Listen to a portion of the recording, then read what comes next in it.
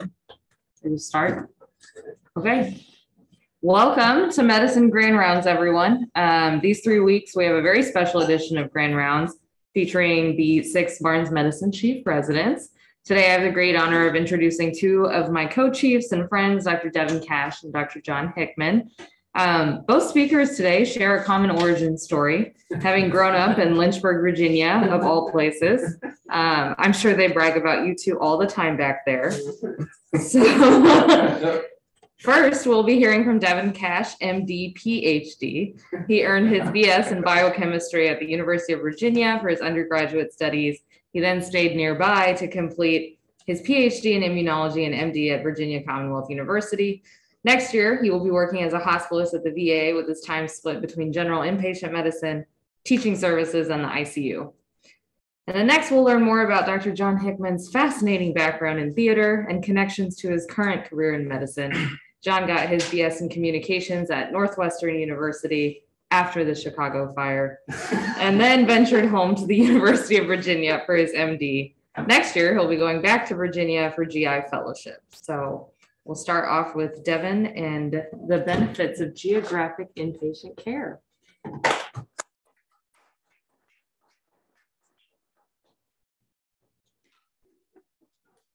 Thank you for that kind introduction. I'm glad that she did not reference my age, only John's. well, it is once again a privilege to stand in the pulpit and evangelize about the benefits of geographic care as we move five days away from implementing it here at Barnes.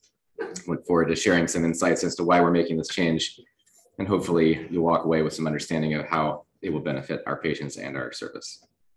As the first slide, neither of us unfortunately have financial disclosures. so let's start first by taking a look back in time. So when I was an intern four years ago, all the medicine services existed in these three buildings. And by three, I mean Rand Johnson stuck in between Queeny and the Pavilion building.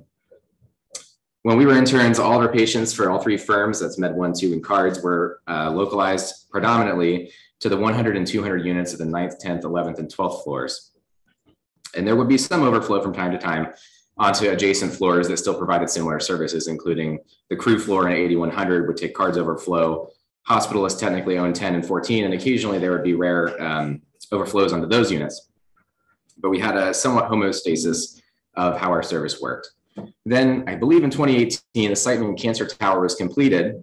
All the oncology services from Schomburg moved into the tower. And then Schomburg had some empty space, which freed up the hospital platform to think about ways that we could change our structure and, and uh, construct new buildings. So then we decided to de decommission Queeny Tower to replace it with something newer and uh, more modern. And in the process of doing so, a couple key decisions were made. The first was that we would move some medicine service to North Campus because there weren't enough beds left on South. And in doing so, we chose to put all the hospitalists, all those, make all those beds hospitalists and keep all the firms on South. The challenge, though, is that there weren't enough floors left for us to easily overflow onto like floors. So our patients would often overflow onto surgical platforms or other um, services that we're not as familiar with the kinds of patients we take care of. And then we end up in a situation like I was on one week ago, where I had patients across 10 different units in the hospital that I would see on a daily basis. And that's kind of where we are now, is that we lost Queeny. We've got all these other fantastic buildings. But in the process of losing Queeny and then COVID happening, any ability to centralize where our patients were cared for was immediately lost as we had to use negative pressure spaces for COVID patients. And then in, in order to offload the ED, we just had to kind of shuttle patients into the hospital where we could find a bed when it one opened up.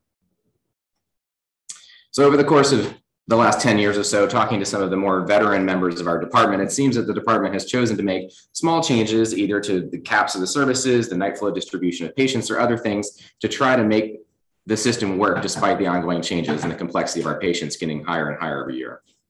But it seems like we haven't quite thought about how can we redesign the system for the future to be more sustainable um, and provide better quality care to our patients.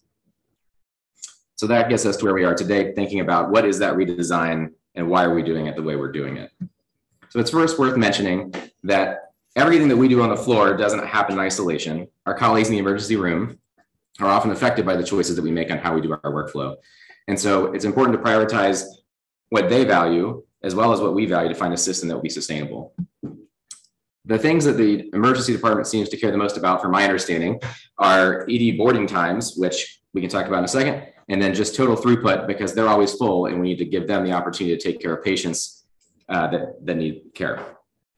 So thinking about the boarding times in the old system, when firm was all on south and hospitalists were on north, often a patient would be admitted by firm, but there would be no beds on south. There would be beds open on north, and the patient could board 24 to 36 hours in the ED waiting for a bed.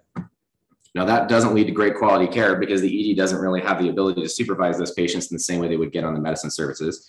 And then it kind of locks up the bed flow downstairs, creating a disequilibrium between firm patients taking forever to get to the floor and hospitalist patients moving quickly to the North Campus, but only after the firm was paged out first or filled first.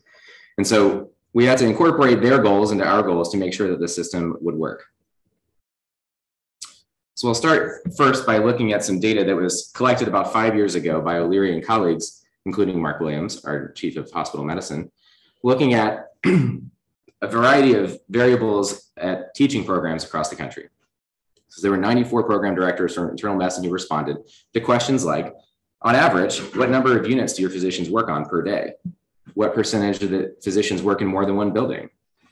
Is there nurse physician co-leadership of inpatient units? Is there protected time for that kind of leadership? How often do interdisciplinary rounds happen? And if so, how often? And so just looking at the top white box, I don't know if my mouse is visible. It is not. Um, greater than seven is the highest number of units that they surveyed, and it was only 6% of respondents. But as mentioned previously, I was working on 10 units last week. So clearly we have a system that's outside of the norm for what teaching programs do, which is why we're motivated to get back to a better place. It is worth noting, however, that we do do interdisciplinary rounds or DCAM as we call it now, but it will be called something new very shortly. Um, and it is unclear at least to many, if there is true nurse physician co-leadership with the inpatient units. So a couple of goals in thinking about the redesign and the data that drive it. Oh, sad it didn't format correctly. Um, the first is to improve communication across clinical teams uh, and the members of those teams, to improve work efficiency by the primary service, to improve staff and patient satisfaction, which the next bullet should have, said, should have said, improving nurse retention, improving clinical outcomes like length of stay and decreases in medical errors and patient safety, improving a learning environment, and improving wellness along the way. So we'll spend the most time talking about communication because I think it's the area where the largest gains are made. O'Leary and colleagues in a separate paper, you'll hear, you'll hear that name a lot, um, looked at the challenges that medicine services face in their microsystem environments to imp improve communication, including that nursing and physician leadership often operate in silos or that physician leadership may not exist at all. Physicians being dispersed across multiple units makes it difficult for them to connect with unit leadership and get to know the nursing staff. Patients often have poor comprehensions of their plan of care because of the sort of intermixed uh, roles of the team members and where they operate in the hospital.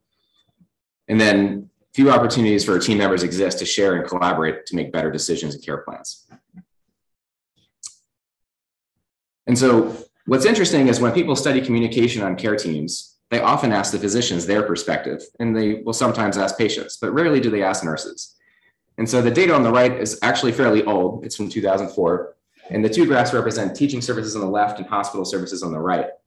And used a five point Likert scale from basically bad to good asking what is the quality of communication on your service? And if you look at the physician bars, both of them rate about a 70%. They thought they were doing a pretty good job. But if you ask the nurses on the same units how they thought the quality of communication was, they reported it closer to 40%, suggesting there was a substantial room for improvement. And this discrepancy in views often leads to nurses feeling like they're not true members of the care team. They don't feel like they belong, they're not as happy, they're not as fulfilled. That creates challenges for the care team. So O'Leary and colleagues, yet again at Northwestern, looked at um, how nurses rated the climates of teamwork and safety before and after the implementation of structured interdisciplinary rounds. So on the left column, you'll see that in the control units, both climates were rated about 60%, but after the implementation of structured inter interdisciplinary rounds, um, where the bedside nurses were actually included in those rounds, not just the nurse manager, that the safety climate went up by 25% and the teamwork climate went up by 15%.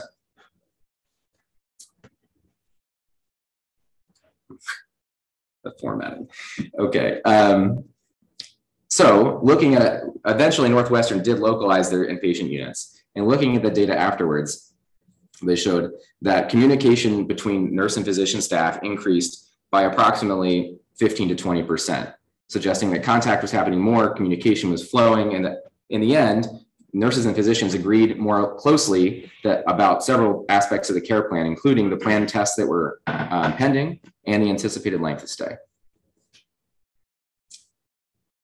So moving on to efficiency, on the right, you'll see a theoretical model for the way that inpatient localization could have both advantages and disadvantages. The boxes on the left are favorable, and the boxes, the blue boxes, and the gray boxes on the right are potential barriers to improved efficiency. So we'll walk through this very briefly. But as you localize, you're walking around less, you're waiting for elevators less. And here, I think everybody knows that that is a substantial amount of time. And so if you decrease wasted time, you increase efficiency, timeliness, safety. You're available to your patients more often when you're one room away. As the, as the teamwork on the unit increases, safety and effectiveness also increase. And that's partly related to communication, both directly uh, with patients on rounds and also unstructured communication through nursing other elements of the care team. And those are all considered to improve the quality of care. On the right, you can see there are a couple of detractors. Perverse incentives is a very kind way of them getting at the idea of playing the game with the drip system. If you know that every discharge means a new admissions coming your way, sometimes people will delay discharge to later in the day so that the night float team picks it up, or they won't do as many in one day because it can become overwhelming. So um, those incentives can ultimately lead to decreased efficiency because those decisions aren't best for patient care, they're best for workflow for the physician. Increased interruptions was observed in numerous studies as well as the theoretical model. And by that, I mean that when the physicians are more available to the nurses on the unit, the nurses will frequently check in about questions they may have waited to ask when they saw the physician next. But if you're there close by, they'll pop in and ask you. And if the frequency of those questions gets to a certain point, it starts to decrease your efficiency as you try to document all your notes for the day, et cetera. Increased variability in patient flow refers to sort of the basal bolus nature of inpatient care. Some days there's a bunch of discharges in the units, and those days the nurses find it really challenging to manage three discharges while also taking care of the patients that remain on the unit. And likewise, admissions will do the same thing probably the next night shift. And then a mismatch in team specialty. So that refers to patients who end up on a service that's not familiar with it, medical conditions that they have. For example, a medicine patient ending up on a surgical ward, or a cardiac patient ending up on MedFirm or a MedFirm patient ending up on cardiology. When the nurses are best attuned to the issues that they know they're looking for, they're going to provide better care and alert the physician sooner of any decompensation. Now, thinking about those four boxes, we've made some efforts in our own model to improve each of those by changing the incentive structure slightly to where not every discharge will result in your own team admitting. The increase in interruptions will have to be monitored, but hopefully Epic Chat will moderate some of the pop-in face-to-face communications. Variability in patient flow is difficult to mitigate. In mismatch in team specialty, we got rid of the cards for that had a medicine attending, which will hopefully undo some of that. And we're going to localize cardiology patients to cardiology floors and medicine patients to medicine floors, hopefully um, preventing that from becoming a safety issue. Thinking about staff satisfaction, there are a bunch of studies that look at this. Um, in general, geographic cohorting increases nursing satisfaction, partly for the reasons mentioned previously about being included in the care team. And when nurse physician relationships and teamwork climate improve, nurse retention improves. Mark Williams even highlighted this point when he was at Kentucky. They implemented localized wards, the nursing staff retention improved. And for unfortunate reasons we don't have time to go into, eventually they had to deconstruct our localized wards. And after that change, the nursing retention got worse again. Numerous studies report staff feel that they provide better, more patient focused and centered care in localized care models, which is always a good thing. This data, which was borrowed from a recent grand rounds that Reed Pierce gave, who he borrowed this data from Mike Leonard, who does Safe and Reliable Healthcare, which is a consulting firm that uses internal scoring metrics to look at teamwork climate across various hospitals. Designed this model where they looked at a hospital, which is blinded here in terms of where it actually was, but the data remains about teamwork climate. Now, their goal was once you fall below scores of about 60%, outcomes start to get worse. So, looking in the green boxes or the bars and boxes on the right, the ICUs, which are sort of intuitively more collaborative environments because of the acuity of care had the highest scores. And when you look down below, they also had the best outcomes in terms of employee satisfaction, which is substantially higher, reduction in employee injuries per 1,000 days, reduction in absenteeism of employees, and reduction in vacancy rates of nursing positions. So if we can improve the climate of teamwork on units, hopefully we can show that those metrics will follow. In terms of patient experience, the data here often comes from places that use um, bedside interdisciplinary rounds. And by that, I mean on morning rounds, the case manager, the nurse, the social worker, sometimes a pharmacist, a nutritionist, and a physical therapist are all present. Everyone goes through an algorithm where they talk about their particular part of the care plan. The patient is given an opportunity to ask questions. And I directly quote this sentence from one of the papers from O'Leary. Findings suggest that when patients feel they're given the opportunity to ask questions, speak without being interrupted, and have their questions answered, they tend to be more satisfied with the experience of their care. Now, this should become a no brainer, but I think we all know that sometimes we don't feel we have the time where patients talk too long. We don't, we can't stay on rounds for 15, 20 minutes in every room. And we don't always make it back every day to talk to them to answer those questions, or we defer them to the nurse or the consultant. So increasing communication, even by just localizing the primary team, will still hopefully gain some of these outcomes, even if we don't do a full structured interdisciplinary rounds at the bedside every day. But that could be a future direction. Yale did a study looking at a pre-post localization of their hospital wards. And they asked patients, do you know the primary diagnosis for which you're in the hospital? And prior to localization, patients could get the answer right 57% of the time. But after localization, they got it right 80% of the time, which kind of implies indirectly that communication, time spent at the bedside, all those things are improved when people have the time to be nearby and answer the questions. Next, we'll pivot to length of stay. This is data from Brown, uh, which I highlight because Brown was one of the models that we used to try to um, build our model here. So they went geographic in about 2013, and uh, they did a pre-post assessment of length of stay on their wards. Um, and it's worth noting that their teaching services um, did localize, but their non-teaching services did not. And so that can, it's not a perfect case control because teaching services are different a little bit, but it gives us some comparator. And the um, y-axis here is looking at observed versus expected length of stay. So the blue dumbbell shapes in each box represent the length of stay prior to localization. And the, and the blue line running across the um, chart represents the average. And you can see that you would expect observed and um, expected length of stay to be the same. It would be the gray white line, gray line in the middle next to one. So prior to localization, they were observing that length of stay was always higher than expected. But after they localized and looking sort of years into the future, they found that length of stay became lower than expected for most patients, suggesting that um, being nearby was in fact in length of stay for their inpatient services. And this is important to highlight that is a T service. Another study, which I find really interesting, was done at Mayo Jacksonville. I believe it's probably the study I read that was closest to what we're doing here. And so they um, did two things simultaneously. There were studies that looked at implementing structured interdisciplinary rounds. There were studies that looked at localization, but there weren't a lot of studies that looked at doing both. And so they implemented uh, both at the same time because they had a five uh, floor hospital. Medicine patients were shuttled across all five floors, but then they realized there wasn't enough capacity for medicine patients. So they opened up a dedicated unit just for medicine. And they used that as their sort of control or their case group for how can we localize and improve outcomes compared to the, what the standard practice was. So these patients are referred to as GAGL or uh, goal directed achievement through geographic localization. And in that study, they found that by doing geographic localization, that they decreased the average length of, length of stay by 0.7 days per encounter with a p-value of 0.001. And they decreased adverse risk events by 3%, medication errors, safety errors, those sorts of things, also statistically significant. And when they did a later financial analysis, they looked at how much money they saved by losing 0.7 length of uh, stay per encounter. And they estimated that it was about $2,400 per encounter or $2.4 million per thousand. And Mayo Jacksonville does about 3,000 um, medicine admissions per year. So we're talking close to $8 million in savings if um, those numbers pan out. And it's worth noting that here, their structured interdisciplinary, interdisciplinary rounds was only 15 minutes. So it's not like they were adding a ton of time to the day to achieve these outcomes. They were basically doing what we do in DCAM if DCAM were only once, which it will be soon. in general, thinking about medical complications and errors, communication is the most frequent cause of medical errors. And in units with higher team cohesion, errors are less frequent.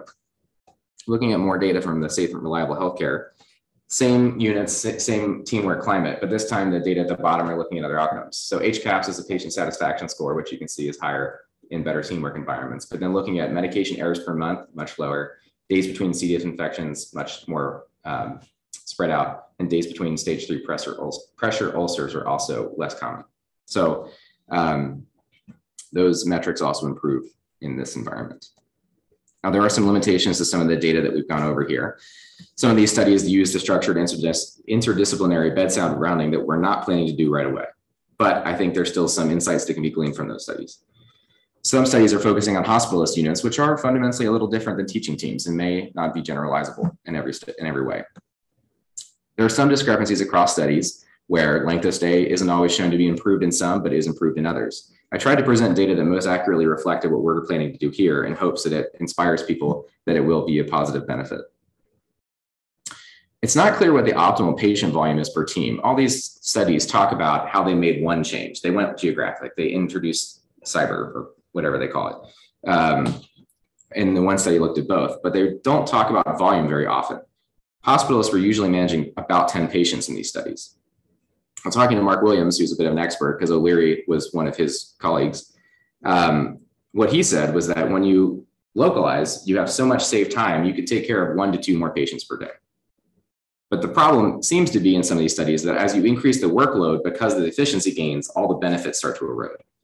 And so there is some uh, magic number that is yet to be clarified about what patient volume can be uh, managed and still achieve increased uh, outcomes.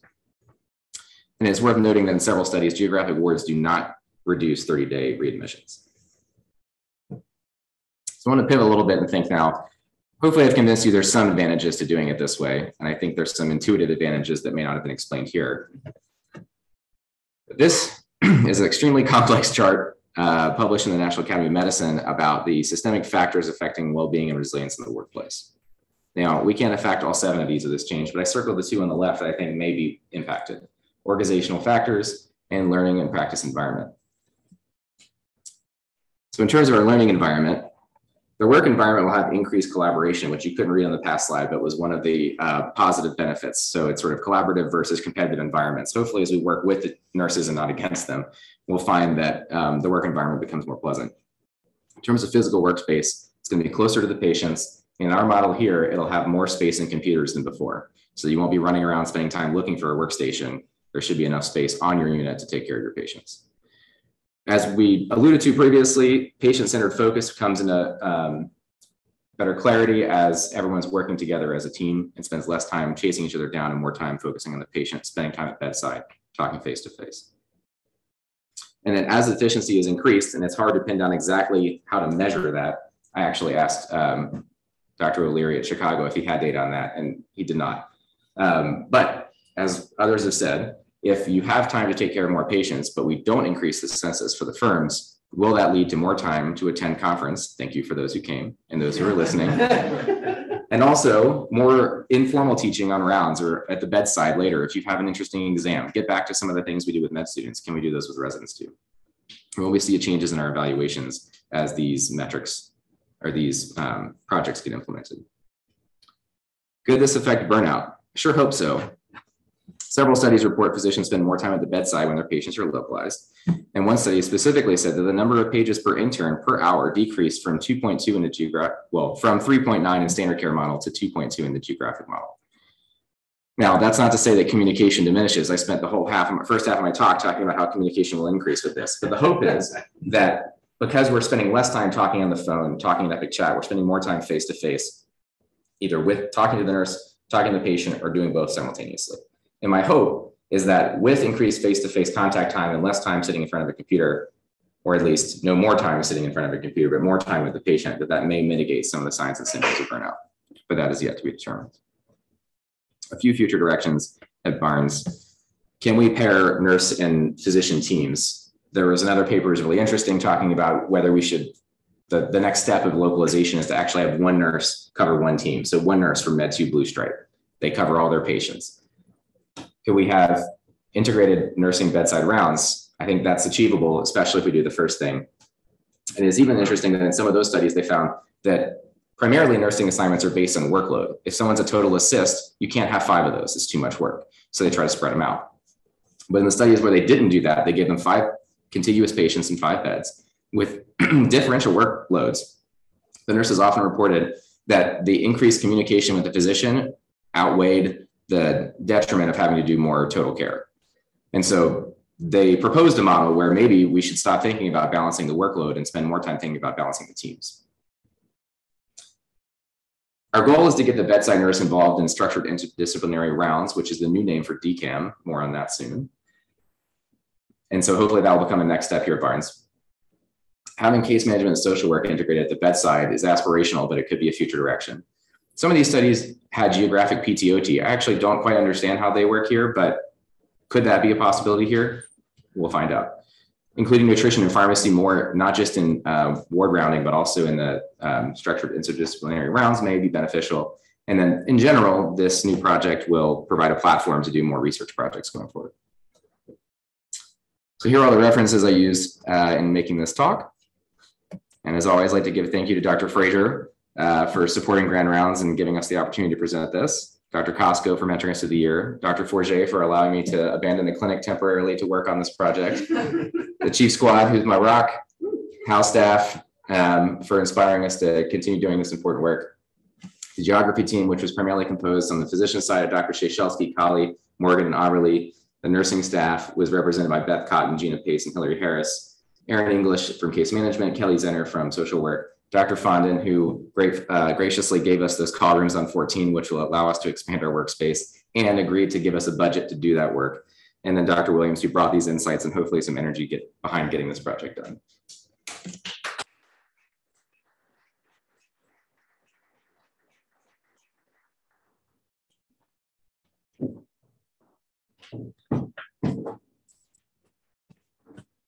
All right.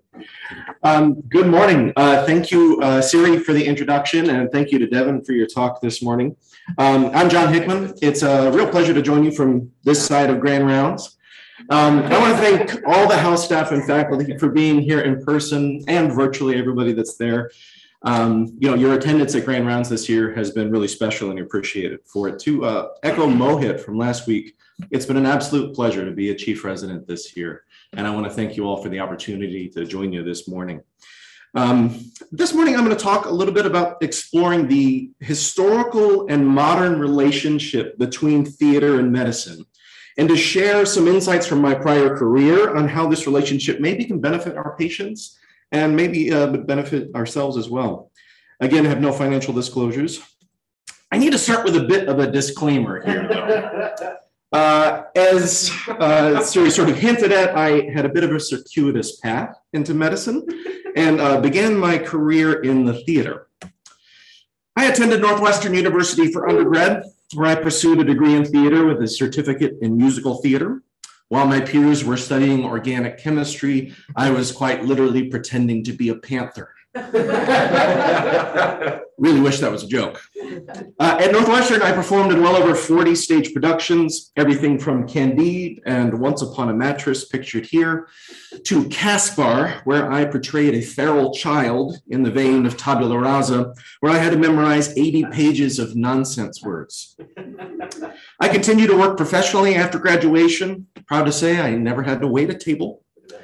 I appeared locally, such as this production of the world premiere of the musical rendition of The Three Musketeers at Chicago Shakespeare and Navy Pier. Pictured here with Jessie Mueller next to me, uh, long before she won her Tony Award for Beautiful, the Carole King musical. To regional productions, seen here in Guys and Dolls. For obvious reasons, totally unrelated, I was excited when we removed the roast section from CPC. Uh, most notably, I performed at the second national tour and Broadway companies of the musical Jersey Boys, which afforded me some unique opportunities from cutting the world's largest cheesecake to performing at the 2007 Emmy Awards. That is me there pretending to play a ridiculously large saxophone while shaking my backside at the cast of The Office. Eventually, I transitioned into medicine after a post baccalaureate pre med program. Now, the why of which could probably be a talk in its own right. But as you can imagine, when it came time to apply to residency, I could essentially write the script of my interviews. Well, that's the unique background. Uh, why the switch? But when it came to applying for fellowship, however, I was asked a different question. Do you feel like your theater training had overlaps with medicine? What connections did you see between your prior career and this one? And these questions caused me to reflect and drove my inspiration for today's talk. And to help answer them, and largely because I just find medical history fascinating, it helps to go back in time and look at the long connection between theater and medicine. I feel like I need to put another slight disclaimer here that I am definitely not a historian, so please don't ask me too many questions about that. But I found some of these details interesting and I don't know, perhaps relevant.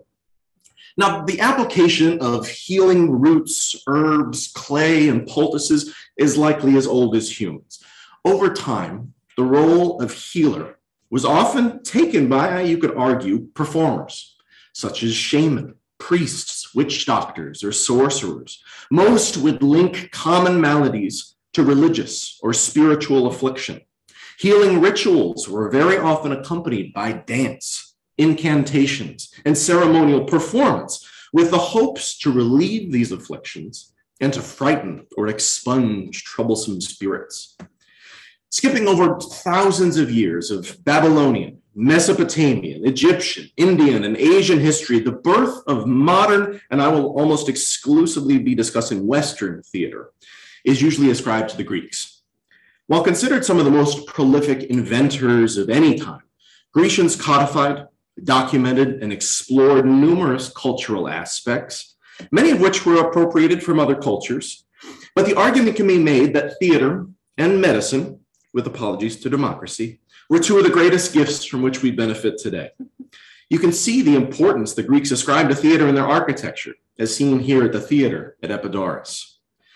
Acknowledging the inherent sexism in history, one of the fathers of Greek theater, along with Aeschylus, Euripides, and Sophocles, was Aristotle.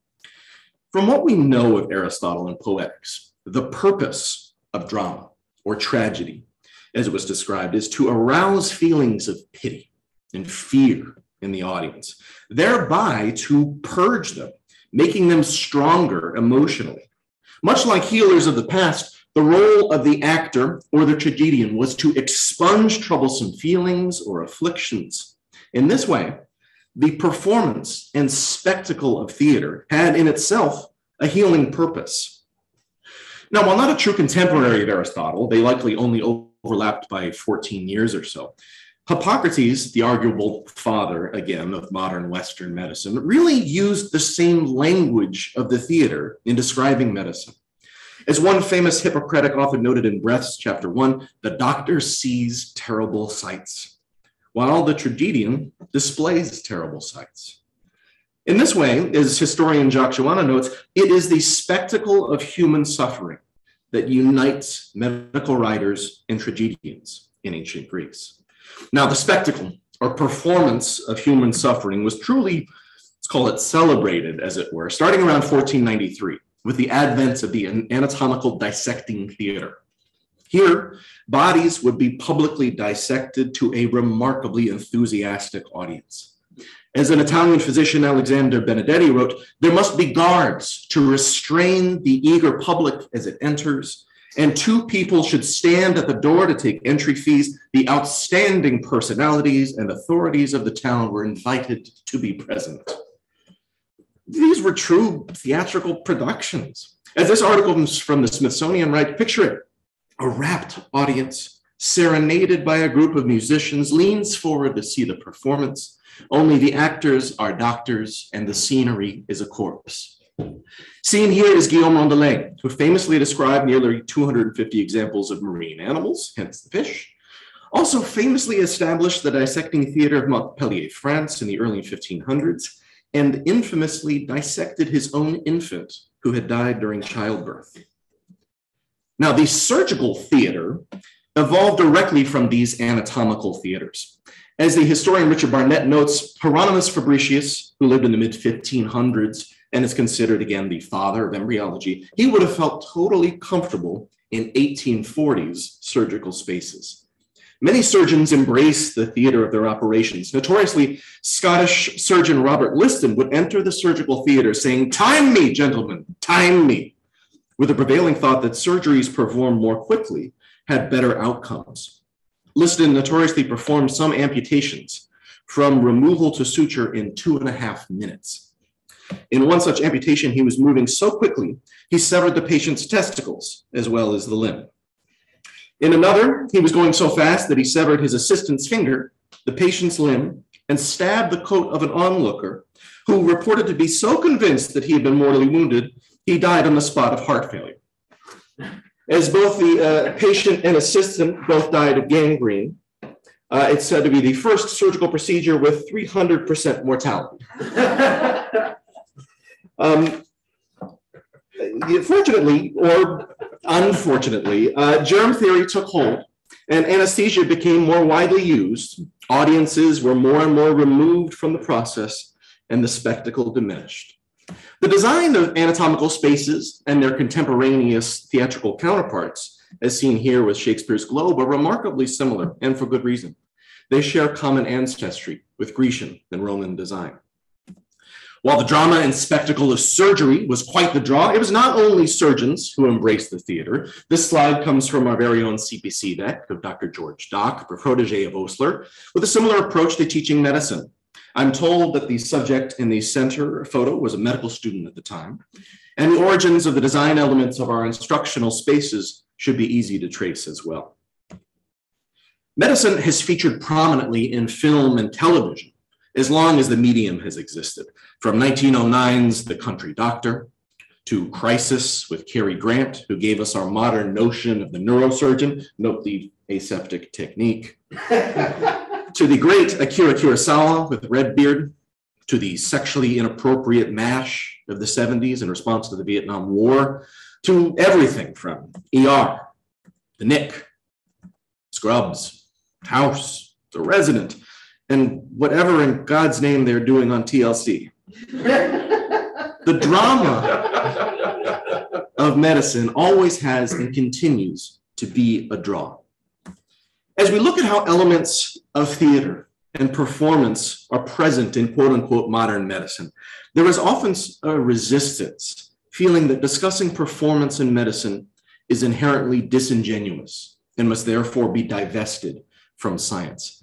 I would argue that acting in its best and truest form is about being present. No one wants to watch a human emote on stage. What we long to see is a person like us, struggling either tragically or hilariously with uh, life. Now, this only comes about when an actor, and I use that term in the gender neutral sense, reacts and responds honestly to others, divesting from themselves and placing the focus on their scene partner or situation.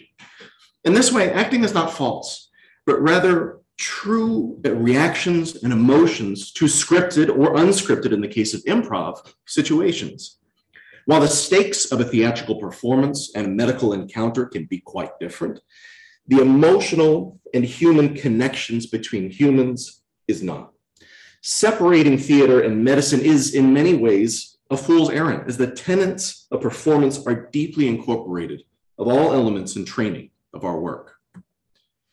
Think about the basics of putting on a scene and their correlates. In our work as healers, we don a uniform or costume. We're particular about the tools of our trade. We embrace illness scripts and are careful in our evolving dialogue. Our lines have changed. We no longer ask men, women, or both, but what gender of sexual partner do you prefer? The concept of roles is deeply embedded in what we do, those of the doctor, nurse, caretaker, healers, their counterparts, the patient or sick role.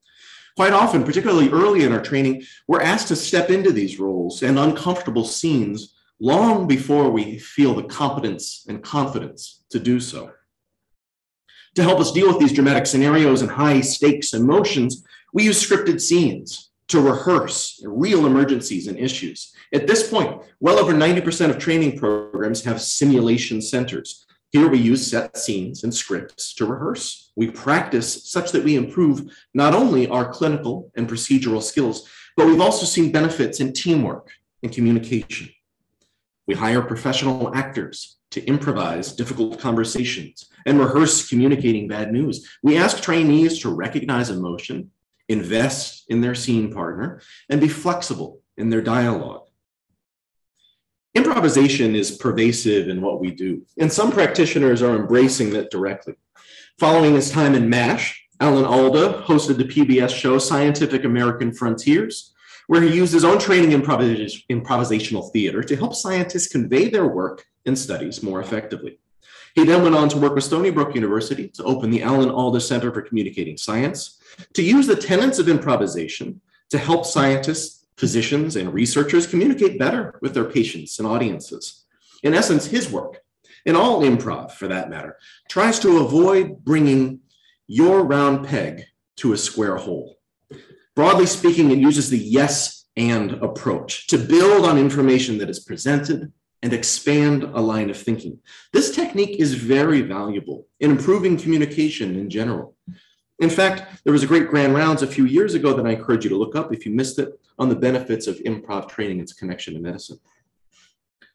The question that arises then is there any benefit to this connection between theater and medicine? And while this work is developing, anecdotally, I can personally attest that there is. The notion of empathy is complicated but I like this definition. A cognitive attribute that involves an ability to understand the patient's inner experiences and perspective and a capability to communicate this understanding. In this way, empathy is both passive or affective and active or cognitive. Theater, improvisation, trains your empathetic imagination to place oneself as if you are in the position of the other in this case, your patient, to take the focus away from you and honestly invest in another. The physician and all healers do see terrible sights, but developing empathy may lead to improved patient satisfaction, greater adherence to therapy, better clinical outcomes, lower malpractice liability, and likely, I would add, better communication. This becomes more and more important as payment models are increasingly based on patients' experience of their care and how providers communicate that information, seen here in this information taken directly from CMS. It stands to reason that if we improve as communicators, empathetic listeners, there may actually be financial implications. But beyond just helping patients, embracing theater in medicine may help us. Medical students training in improv noted improved proactivity, well being, engagement, and communication. The more fully we can, again, divest from ourselves in this process and put our focus on our patients, we may provide better care and feel better about helping others. All an important part of finding meaning of work here at the center, a core value as noted by Tait Shanafelt in addressing rampant physician burnout. Theater and medicine have been intertwined as long as both have existed. Medicine is filled with drama and tragedy. The skills developed in theatrical training may be able to assist us in being more empathetic communicators with our patients and to more easily place ourselves in their shoes. Now, am I saying that we should be recruiting more acting students for our medical programs? No, maybe not exactly. But perhaps in embracing theater training more directly in the training of our medical students and in faculty development, we could purge these strong emotions, improve empathy, and reach catharsis to which Aristotle ascribed. With that, I want to extend several thank yous. Thank you to Dr. Fraser, Drs. Costco and Spencer. Thank you to my co-chiefs and to our amazing house staff. I want to add a special thank you to Jen Bogovich and Mark Kahala and the IT department for all their help this year. I'll wave to you in the back. thank you to you all for allowing me to join you today. With that, one last awkward photo. and we'll throw it to the QR code and uh, time for questions.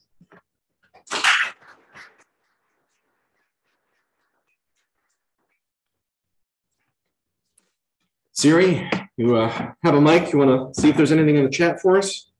Nothing in the chat. I have a question. Fire away. Will you ever return to the stage? Will I ever retire from the stage? Is that the question? Return. Return to the stage. He's on it right now. I'm on it right now. Um, I hope so uh, uh, when there's time. Yeah, I um I do think it's really important, and I really I do miss it. I miss that part of it. I miss uh, being involved in actual performance more directly. So I don't know. Maybe at some point down the line, I'll join community theater or something like that. Scratch that itch. Any other questions from here? Yeah, Dr. Fraser. Thank you both so much for those terrific talks. So I, I have a question for each of you, but I'll start with Devin. Um, Devin, what do you think is the opportunity for optimizing interdisciplinary education along with uh, geographic localization? So do you see any role potentially for physicians, nurses, PTOT training together more effectively? Yes, um, it's difficult to say where it could go. It is worth noting, similar to John's presentation, that our Sim Center does now incorporate um, nurses into the into the acute care response simulations. So I think we're working with them there. I think when we move towards a better interdisciplinary rounds, we will get more insight into what they're doing. But there have been many ideas floating around by email about whether we should have people shadow a nurse or shadow a physical therapist for a day, get a sense of what they do and how they add to the team. Um, I have no plans for those things right now, but um, I'm sure that the new chief class and Dr. Shashelsky will certainly continue growing on this model.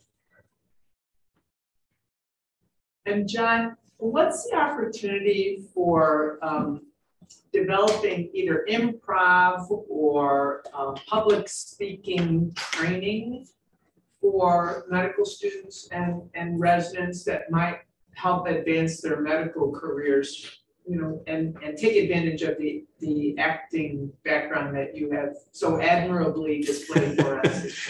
There are, I think there are a lot of opportunities for it. Um, I mean, there's some folks that incorporate it now, right? Uh, maybe it's small workshops here and there. And I've, you know, uh, when I was in med school, we did, I was starting some of that and doing a few classes with um, some of our medical trainees at that time. But I would also encourage us not to think of it just in terms of something as benefit for medical students and trainees, but also for faculty development, because a lot of these things people get very nervous thinking about doing it or, or, engaging in it thinking oh i'm not funny right? You know it, but it's not ever about being funny at all. It's about responding you know honestly and accurately in the moment to whatever's happening. That often ends up being funny but it's not an intention but i think there's a lot of opportunity for us to include that maybe that's in workshop formats but i think some kind of longitudinal curriculum is really a benefit because it's it helps us uh, relieve stress it helps us communicate better. It helps us uh, get perspective, I think, which I think is really important for all levels of our training and our career. Thank you. My pleasure. I got questions for both of you. All right. How could you possibly have a question for me? I was gonna say I can project pretty well, but no, we can start with you. All righty, hit me. Um, so I know you were talking about building empathy, Mhm. um, with a lot of improv training, and I noticed that in a lot of our simulations, we have med students and trainees being the physician. Do you think there's any value in having them also play the role of the patient? I think absolutely. Um, you know that that can ask a lot more of them. I think from a performance standpoint, it could be a, a little stressful. But I think you're right. It's important to be able to put yourself in that situation, maybe even directly, like you're saying. You know, one thing that people are exploring is using illness scripts, right? Uh, trying to really approach diagnostic reasoning early on from what does it look like really when it walks in the door? And there's no better way to do that, I think, than trying to imagine yourself or even physically performing that, playing that in that role. You know, where is the pain? What does it feel like? Where does it move? Right? If you can start putting yourself into that role and then maybe physically sitting across from your physician, you can get an experience of what what works, what doesn't work, right? When someone asks you about or you know gives you bad news or asks you how you're feeling or what you know what's going on at home um, it, it's i think it's going to be really eye-opening for people when they're in that position in that hot seat as it were and saying you know seeing what works and doesn't work And, uh, Yes. my friend in geolocalization. Um, I feel like with geolocalization, there's a lot of opportunity for QI projects because you kind of have these little environments. Um, did any of your research um, show any improvement on QI in these environments and helping them to help with burnout as physicians feel like they're seeing change from things that they've noticed? Does that make sense? So there were some papers that looked at like reported satisfaction and things. And in general, both nurses and physicians reported improved satisfaction when wards were localized compared to previous. But in terms of um, like measuring burnout, I didn't come across any studies. I was also trying to keep it narrow and focused though. So that doesn't say there isn't data out there. Uh, in terms of QI work, I think um, there's a ton of opportunity. And I think what's interesting about our firm's structure is that uh, we could implement QI projects in only one firm and then monitor like a case control between Med 1 and Med 2, for example, and see. So I think that is a, a great platform for opportunity going forward.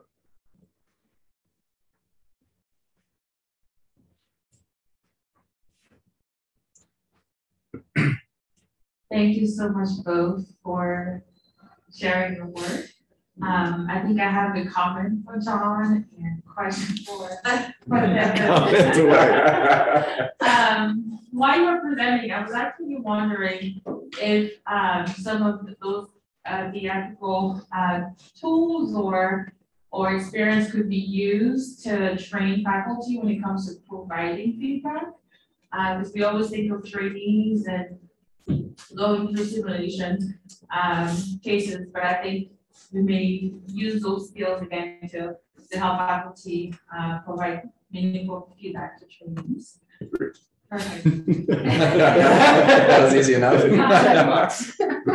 Devin, thank you so much for your work. I know, um, I don't think I've personally given you enough credit for all of the work that you did this year, so I'm taking this chance to really give you a lot of credit for everything that will be happening next week. We're really excited about going through fifty floors, four rounds. Um, what do you think, or what are you the most excited about when it comes to getting to geolocalization? Um, I think there's a couple answers to that. Honestly, like the workspace on 14 is the most exciting part of it for me, just because workspace has been such a pain point for our program for the year.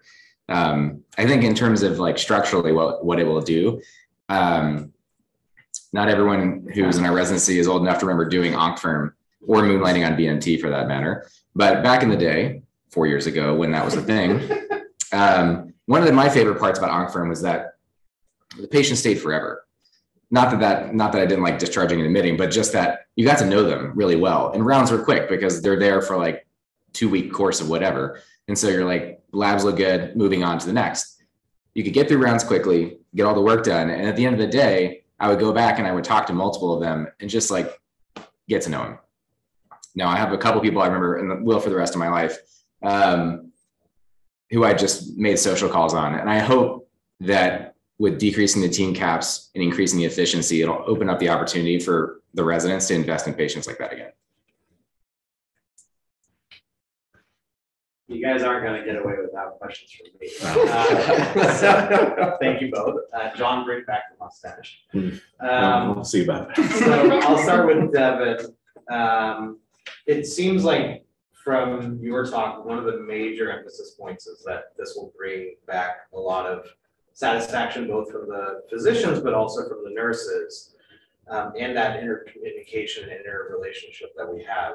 Um, but it also seems that nurses, as far as I can tell, for the longest time have been geolocalized within our own health system and other health systems. So why is it that from the physician point of view, we're somewhat catching up now? Because a lot of the papers that you reference, including papers from Dr. Mark Williams and his colleagues, they implemented these strategies in the early two thousands or even in the two thousand ten. So why that gap? So you're asking why are we behind? Yeah, compared Okay. to say nurses who seem to have been geolocalized for as long as I. Well, so even in our system and others, the nurses are always unit based. And so their frustration or the pain they experience um, seems to be that when they are carrying five patients and they have five different physicians they have to talk to, it just takes them forever to even get the communication. Imagine making five phone calls at the end of rounds every day or, you know, whatever. It's just, um, whereas you could call one person, and be like, I have three questions for you, answer them now. I think the nursing structure largely is similar across systems. Why we're moving to geographic localization now is a complex question that I will leave to others who've been here longer. But our hospital, run by two organizations that has like seven buildings, is a behemoth, and it is not always easy to implement um, those sorts of structural changes. And, and I take no credit for being the person who made this happen, only that I was at the right place at the right time to help make it move. Um, I think what I was alluding to at the end of my talk, though, about nurses localizing like five beds in a row is the next step in like the future of microclimate. Because if it can really, the most interesting paper I read was about nurse pods where there would be one attending for every 10 patients, and each nurse had five contiguous rooms, and the entire team was two nurses and one doctor, and that like optimized the efficiency. So I'm hopeful that one day, whether it's on the hospital side or the teaching service side, that might be possible here. That was a, that was a great answer, Devin. I will add that, uh, I think right now represents a confluence of right time, um, and, uh, lots of different factors coming together to do this. So, um, I think it's a, a great opportunity, um, to reimagine the, the way we provide, uh, care on the inpatient services. So it's the right time, right place for a lot of us. Last one. So kind of piggybacking what um, Christine had mentioned about empathy and performance. So I think we all can remember when we were medical students doing simulations and kind of being taught to be that performative actor of showing empathy, using some buzzwords for it. What happens to bridge that performative act into a more genuine empathy and becoming a true empath when it comes to going in real life, being a trainee, being an attending? I think it, well, one involves experience, right? Being, being in the situations that you were rehearsing or pretending as it were to be in. But I think a lot of it comes from really investing in that work. Um, I think one of the risks, like Christine was saying, maybe about having students play the role of patients as well, you know, we have to take it seriously for it really to, to make a difference. It, it can be a lot of fun, right? And it can be play.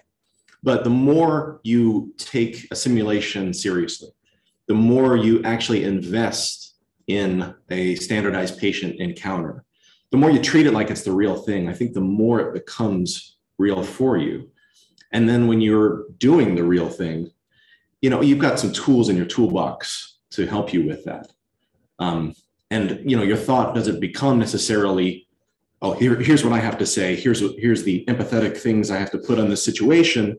It's more just I've got these things in my, I've done this before. I've seen this before. Let's see how this plays out. Let's listen to this person, this family, this patient, whoever it is, using these tools at my discretion to try to help them. I think that can be powerful for folks. All right. That's it. Great. Well, thank you all again. Please join us next week for the last grand rounds with Dr. Siri Ancha and Dr. Christine Auberly. Thanks, Mark.